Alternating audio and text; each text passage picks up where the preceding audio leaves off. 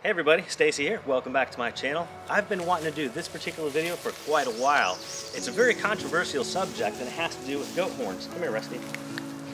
As you see, Rusty's got some pretty big horns as well as Chico and Buster and a couple other my goats.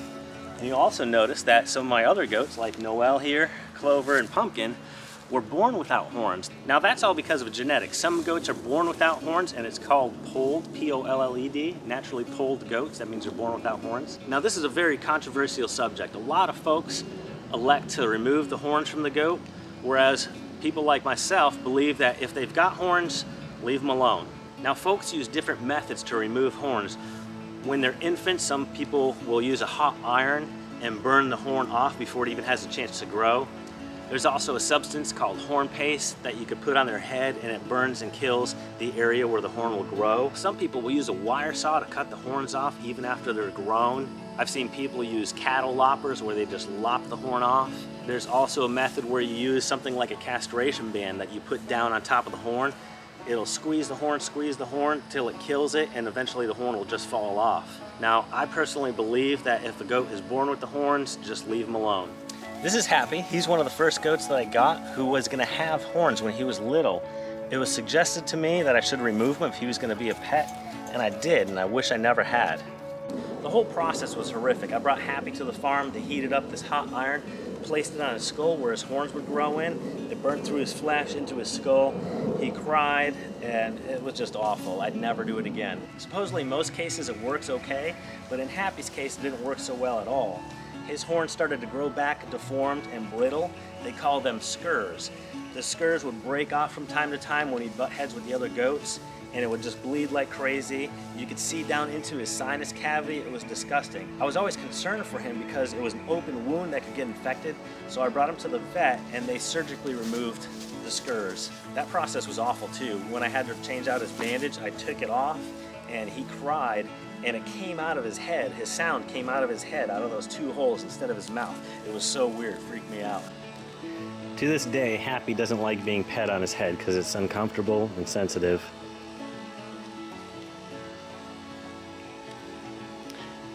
Some people raise show goats, and shows require that they don't have horns. It'd be similar to docking a dog's tail and ears to put it into a show. I don't agree with it, but it's just what's done here.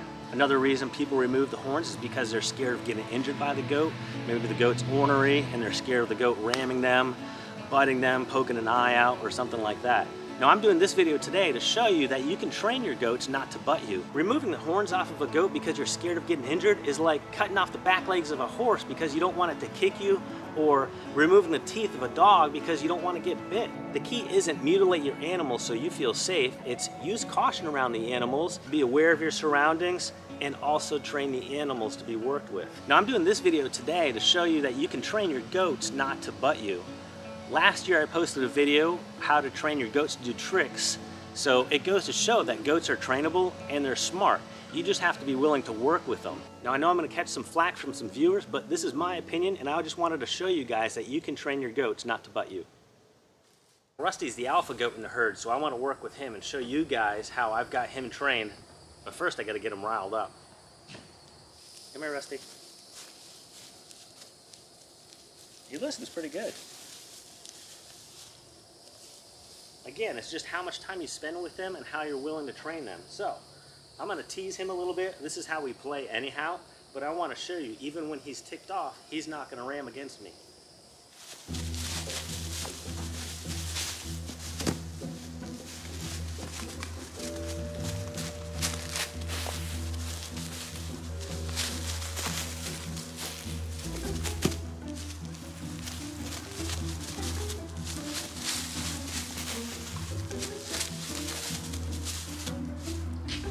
Touch me.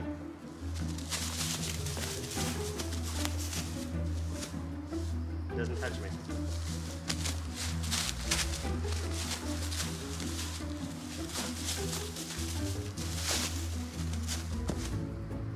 Doesn't touch.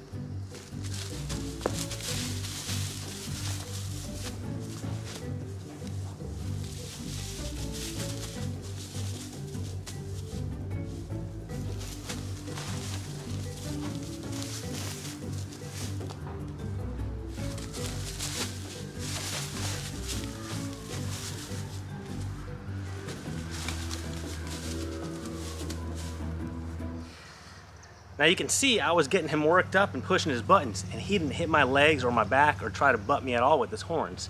So one of the first things when you're training your goats is to let them know that you're the boss. Now there's a couple ways that you can do this.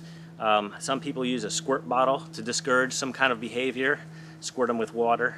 Um, sometimes I use the hose. Now you could also use a method where you flip the goat onto its side or on its back and stand above it, tell them no, use a loud voice, say no when they've done something wrong, and let them go when you're ready, not when they're squirming and want to get up. This will show dominance over them. Also what I do, if it's a minor infraction, if one of my goats tries to do something, I'll flick them in the nose and tell them no. Not real hard, obviously. So now that I got Rusty worked up, I'm gonna play with him a little bit and I'm gonna give him my hands to butt. So sometimes I use one hand, sometimes I use two, and he knows that these are his targets to hit in a play session. Good boy. You wanna play?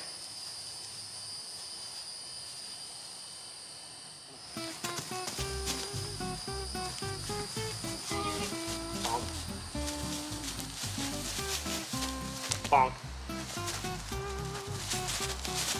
Bonk. Bonk. Bonk. Ooh, that one was hard. Now watch, I'm not going to use my hand for a target and rile him up again, and you'll see he won't hit me.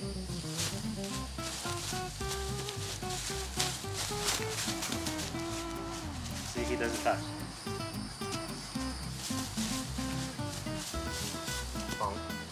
Okay, good boy.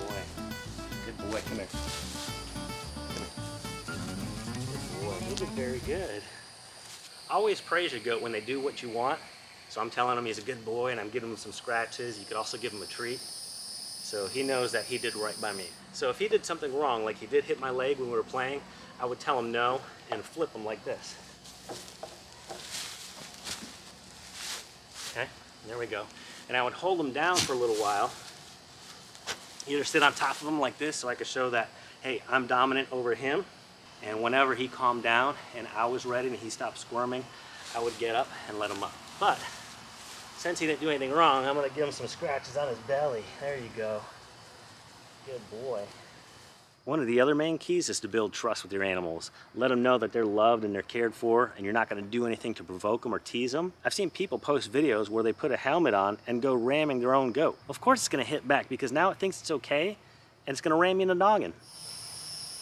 You did good, Rusty. Thank you for showing everybody. And thank all you guys for watching. Please consider training your goat not to butt rather than lopping their horns off for no reason. Hope you guys enjoyed. Please like, share, subscribe. Share this with your goat friends, and I'll see you next time. And thank all you guys for watching.